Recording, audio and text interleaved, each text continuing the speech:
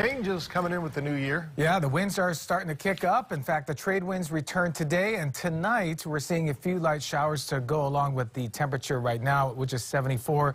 Winds are still light, east northeast winds at 5 miles per hour. High chance of some strong winds as well as some high surf for the islands. High pressure is back over the state, and as the day progresses tomorrow, winds are expected to pick up to the point where tomorrow night uh, and in through Thursday and Friday, even as far out as Saturday, we could be seeing winds up to 30 miles per hour. So it's going to be very windy for New Year's Eve, New Year's Day.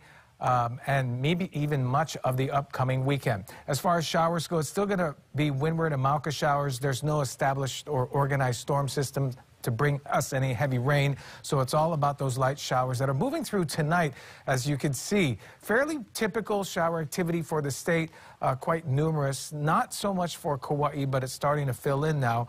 Uh, and we've seen nonstop kind of light rain moving through the Ko'olaus and even into central Oahu and South Shores due to those strong trade winds. Similar situation, of course, for the West Maui, even central Maui, and of course, East Maui as well as the eastern sides of the Big Island. That's going to continue, but at least we don't expect heavy rain. Now, with those winds, east shores are going to rise tomorrow 4 to 6, so it's choppy there.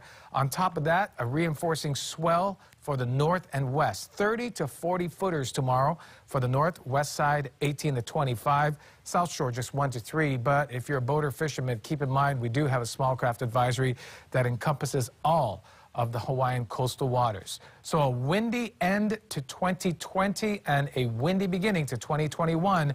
And those winds will be elevated through Saturday. Even after, though, we're still going to see breezy conditions in through Sunday and Monday. So the surf and the winds up there before both start to decrease by midweek next week.